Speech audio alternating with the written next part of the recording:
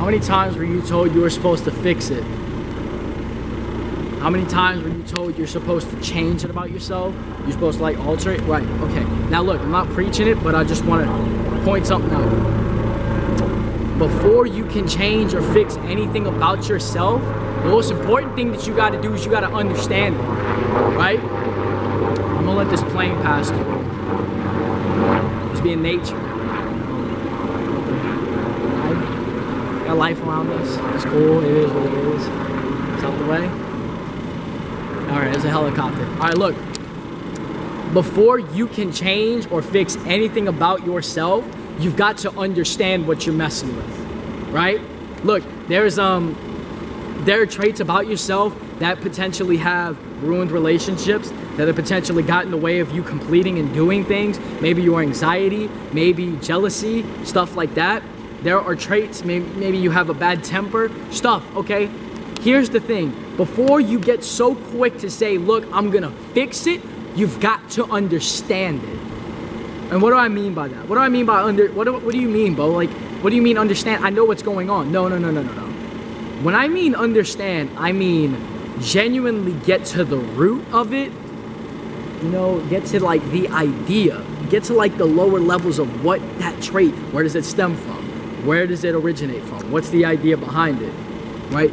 get to that level really understand what's what you're messing with before you start getting all of a sudden like hey we got to fix it we got to change all this up so we got an alter and then boom life goes the way it right life goes the way it goes right no man before you can fix anything before you can repair anything right you don't just know that you know like let's say you got an engine and then you know your piston you know your pistons are messed up right you know the the engine where like it's like a lid, and then where it blows up, pop. Let's say this part, you know that it's busted.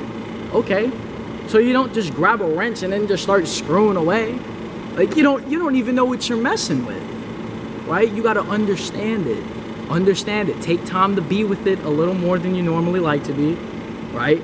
Take a little time to understand. You know, I have a, um, I'll link an emotional method below called How to Heal the Emotional Body, where it teaches you to actually sit with those emotions or those traits within yourself, right? To reflect on that shadow side, right? Those traits that you consider detrimental or harmful to whoever you are and what you do.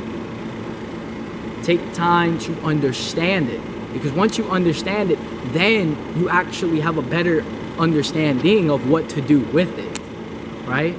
Don't get so quick on, hey, look, gotta fix it, gotta change all of this up, when you don't even understand what you're trying to change at all. Here's the thing, sometimes it's not even about changing it. Because if you can't, like, because a lot of the times what you'll do is you'll change it out of fear, right? You'll change it out of fear that the relationship goes bad again. You'll change it out of fear that you won't be able to do the thing again. You'll change it out of fear that your boss is gonna fire you if you don't do it the way you're supposed to do it. Let it go, all right? First off, don't change it out of fear. Change it out of a genuine understanding of it right? This doesn't serve me. I need to change it. But before you get out of that, get before you even get to that step, get out of fear, right? Get out of the fear of ooh, right? Get out of that. Come to an understanding with what it is you have to confront, you have to talk to, communicate, whatever you got to do with the business on that. Okay? Understand it. And then change. Change it if it still needs to be changed. Look, before like let's let's take this for example. Let's say every time I'm in a um, I'm in an environment, and let's say there's a, there's a class, and there's like these three big guys, right? And for some reason, any guy that's like 200 pounds, six foot, I like start I, I just get nervous. I, I all of a sudden get like red faces and stuff like that you know, and I just start getting nervous. Why? You know, that's that could be that could pertain to a lot of psycho. Um, that could pertain to a lot of stuff pertaining to the mind and the past trauma and childhood. We don't know. But before you all of a sudden say, I have to change this about myself, understand why you're even feeling that way at all. Understand where it stems from. Understand its roots. Understand the balance of it. And understand what's going on. And then once you've con- once you've learned to embrace it and accept it as that's right now, that is you, then you can take a step to say, all right, now we can change some things. Now we can kind of alter the perception and mess around with it right before you suddenly just jump on and say hey we better change this and mix it up Woo! no Understand it first. If you can't even embrace and accept the trait that you have, then you're changing it out of fear. So, in order to avoid changing it out of fear, understand and embrace it. And then, if you genuinely feel like there does need to be a change, then by all means, go ahead and take the steps necessary to the change. But first, start to understand it because you might not even need a change after. You just might have needed to understand and accept the trait to begin with.